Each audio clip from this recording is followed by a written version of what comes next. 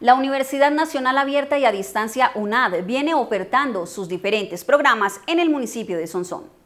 Para ello se ha venido gestionando con la administración municipal un convenio a través del cual se otorgarían una serie de descuentos consiste que se le va a poder otorgar una vez suscrito a todos los habitantes del municipio un descuento del 15%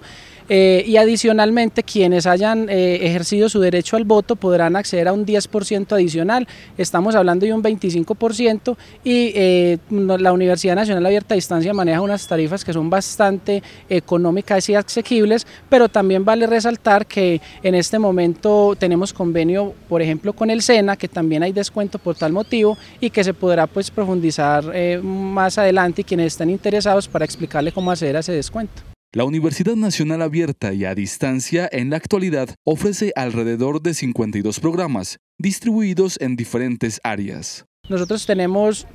lo que es sociología, filosofía, psicología,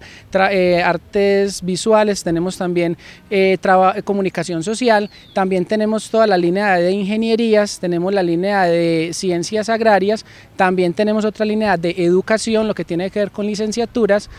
y también tenemos una escuela de ciencias jurídicas y políticas eh, que en este momento estamos ofertando una especialización, pero a futuro próximo vamos a estar ofertando otros programas como ciencia política y derecho. Y también tenemos una escuela de salud que es de lo que tiene que ver con regencia en farmacia, administración en salud. Entonces una oferta que es bastante amplia que la UNAD ofrece y que se puede bien aprovechar por todos los habitantes del municipio y del departamento. La UNAD también cuenta con el programa Generación E, el cual va dirigido a población en condición de vulnerabilidad. La persona debe cumplir los siguientes requisitos, tener CISBEN 32 o inferior,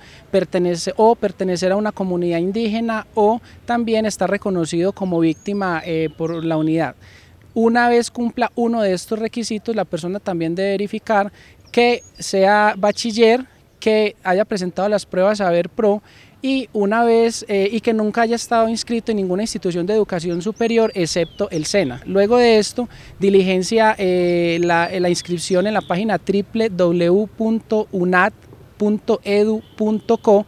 y eh, allí encontrará en la parte superior un link que dice Generación E. Generación E, luego diligencia la inscripción y debe tener en cuenta que hasta el 20 de febrero cierra el segundo corte. Las personas interesadas pueden acceder a una mayor información en la Secretaría de Educación Municipal ubicada en la Ciudadela Educativa y Cultural El Lago.